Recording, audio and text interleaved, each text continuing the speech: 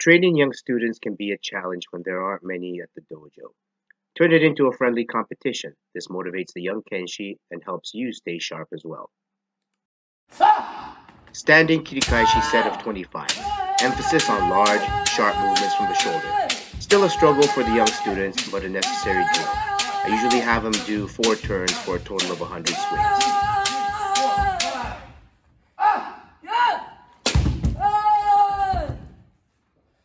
At Koyokai, the DO in Kendo is for do.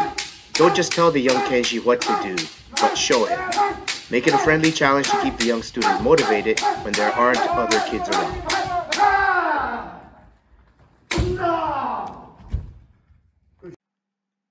Remember, young Kenshi are the future of Kendo.